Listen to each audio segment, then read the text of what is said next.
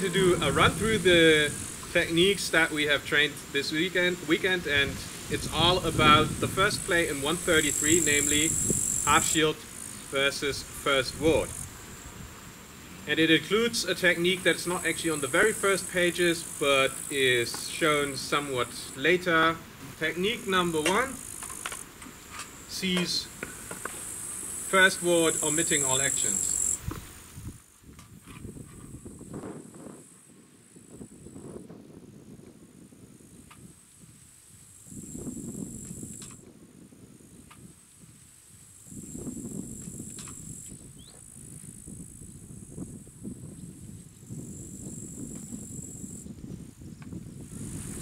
This will very rarely happen in a true fight uh, or in a sparring fight. We show it in a somewhat systematic way so you can understand what's going on. What you will usually see in a sparring fight is uh, half shield acting late rather than not moving at all. So we're going to show this one for the sake of understanding.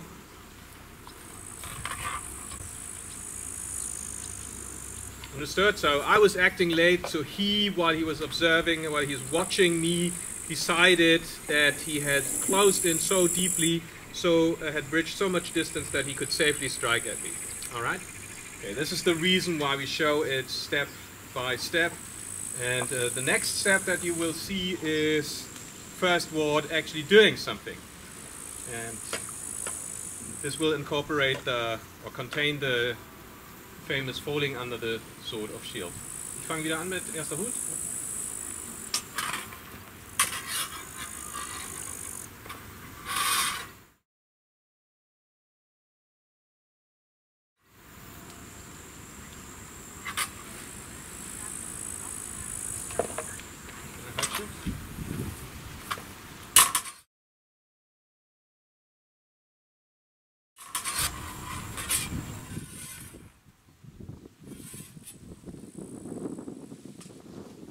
This overbind is the only means he has to prevent me from thrusting him in the face as was just demonstrated. And this is the overbind that we are going to see now.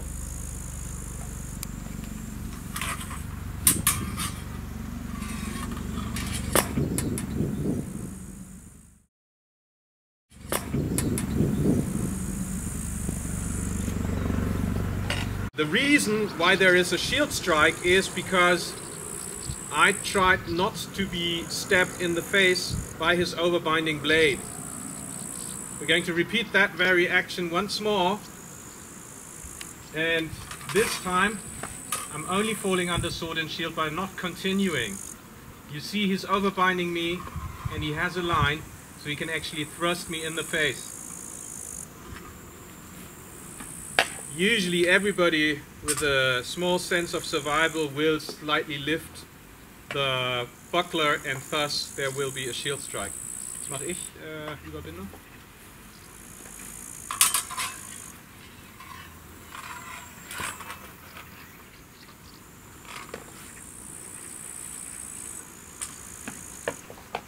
To counter the action that is coming from half shield, namely the overbind, I have to make a decision early on when I'm coming from first ward. So having fallen under sword and shield, I'm in the process of raising my hands. Note that when I fall under sword and shield, my hands are relatively low so that I can lift them. And while I lift them, I try to, well actually, I can actually show it. And while I lift them, I can try to bring my blade behind his to establish my wedge and next to enter with a thrust. And this lifting of the hands, this elevation, this raising of the hands, this is the moment where I feel that I'm being overbound. And that's when the so-called mutatio gladii comes into play.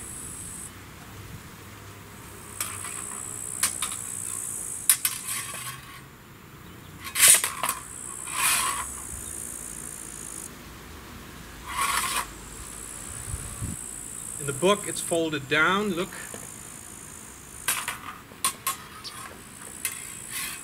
In the book, this situation, where I'm actually dominating him for the sake of your understanding or the, uh, for the viewers, is folded down. This is what it looks like in the book.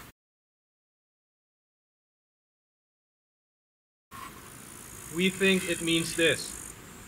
From here I separate his weapons and enter. And this separation of the weapons we think is what is called nucken.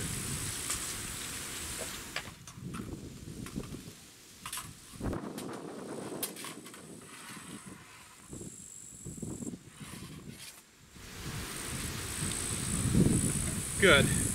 If the half shielder is feeling that the one in half uh, in first ward, underarm, is doing a mutatio gladii, he can respond with pretty much the same move.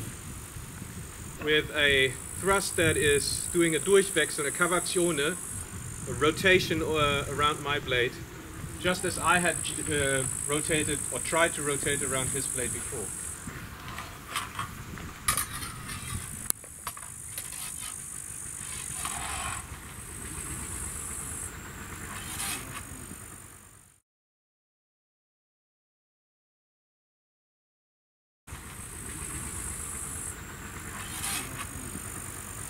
Okay? So when the half shielder feels that the one in first ward who has fallen under leaves the bind and rotates around the overbinding blade, that's when he basically does the same. And the motion is very much the same action that we did earlier for the mutatio gladii, which you have trained. So this counter, which you have not yet trained, uses the same mechanics.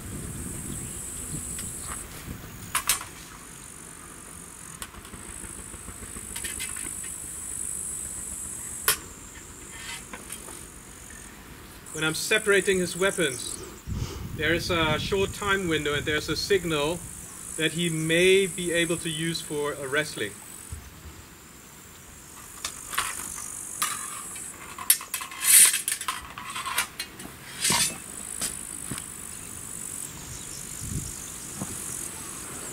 So once I have separated his weapons and uh, tried to enter, when he has uh, realized this in time, so he actually lifts his hilt, that's when he can do this wrestling. We're going to show it one more time.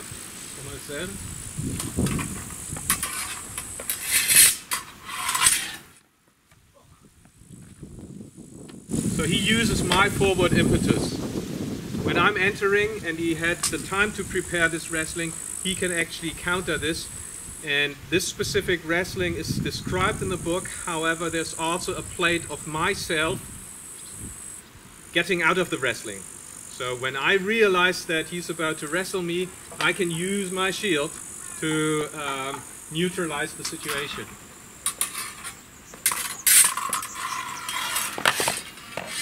Strike forward with my shield and pull back my sword. In this situation here with the blade between his arms and my uh, buckler on top, that is also what we see in the book.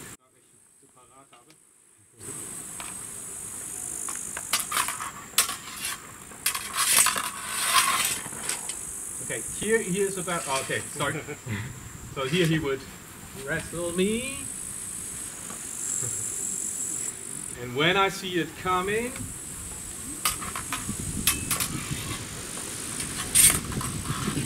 I can shield strike and pull back my weapon. In this situation, yeah. So this, if you fold it down, this is what we see in the book. Good. And if I do the mutatio gladii and feel that he has already entered, then it will be difficult to get around um, his shield. So here, I'm already stuck, so um, it's hard for me to even get onto his blade, and then I will be screwed. Yeah. So because here, he, apparently, he could just. And I see that I don't have this room. I should do uh, what they call a durchtreten.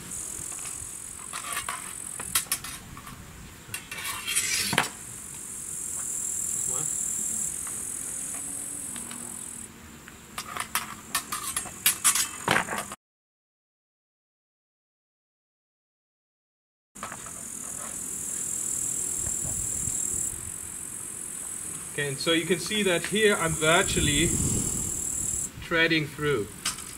So there's a Durchtreten here.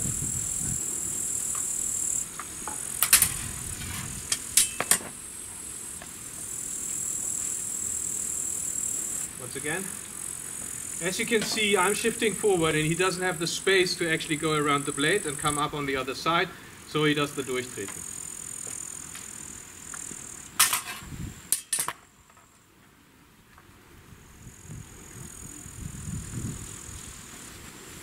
That's our current idea of the first play and the techniques that are attached or connected to it.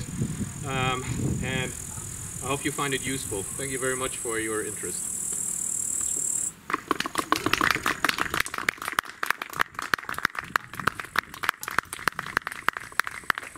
Und das lade ich dann bei Zeiten auch hoch, dann habt ihr das auch, dann habt ihr quasi eine Zusammenfassung von den Techniken und noch einen Ausblick auf das, was weitergeht.